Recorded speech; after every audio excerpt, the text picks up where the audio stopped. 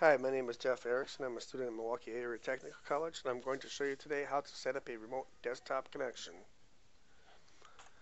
Okay, one of the first things we want to do is create a new connection.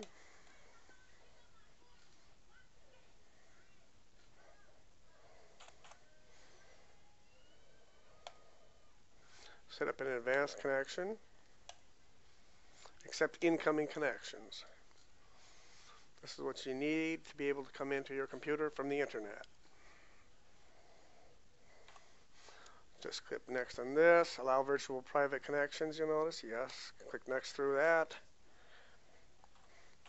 Next, make sure you click on yourself here so that you can allow yourself access to come in and anybody else you want to allow access to it. It's important to note here that you have to assign yourself a user ID and a password so that you can access it remotely. Otherwise, anybody else can get in here.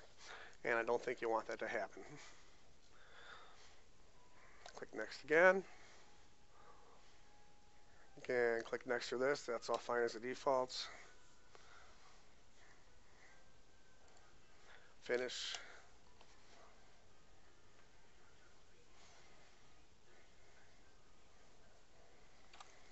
Now you can see we have a new incoming connection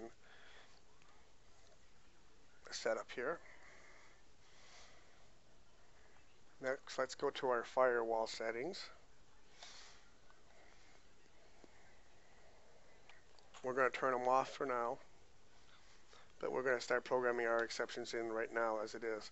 We want remote assistance checked and remote desktop.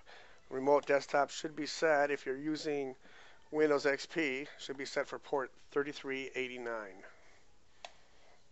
If you're using Windows Vista, it should be 3390.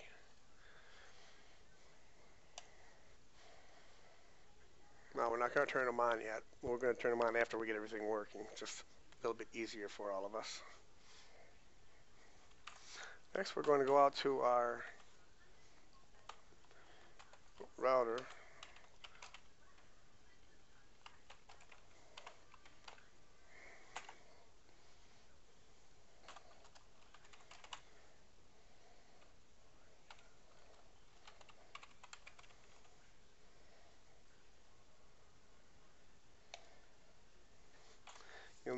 Our external address 24.183.138.103. We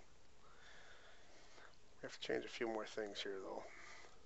We have to set up port forwarding.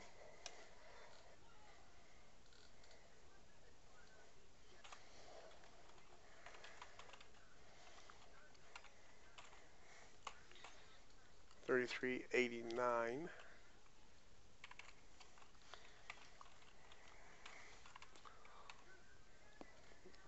And local IP address on our machine here, I happen to know is set up as 11. So 192.168.0.11, come on. Oops.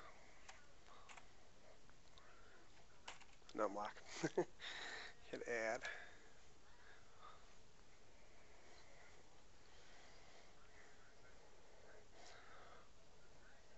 Okay, so that's done. Next we go to the DMZ host. That also has to be set in here so that it does forward it directly to this PC again from the router. So guess what? It's already set in here because I did put it in here earlier when I tested it. So 192.168.0.11. So that's the one that it would go to.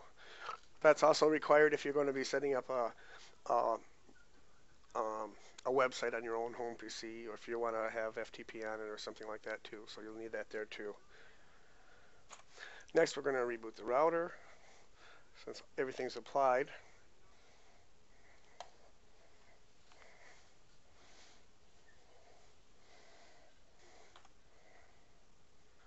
Next, we should also go back and go to our control panel here.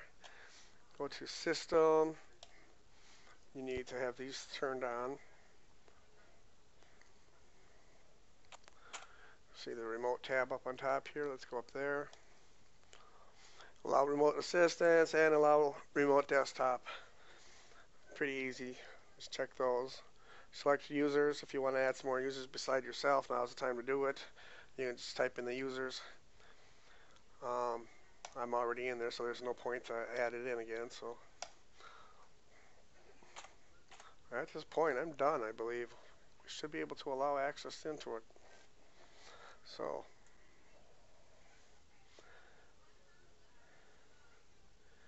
I've got my cell phone here trying to connect to it right now.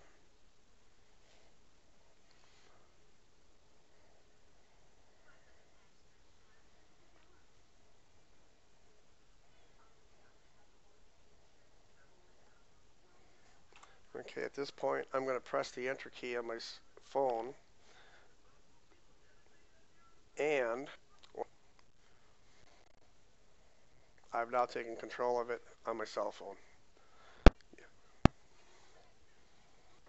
Okay, you didn't get to see this part before, so I'm going to show it to you real quick. If you go to Start, then All Programs, then go to Accessories, then go to Remote Desktop Connection. That's how you can get into this. Now, the IP address of my gateway uh, to the external world is this, and it's got the port forwarding set up for it. So now at this point, I can go and hit connect.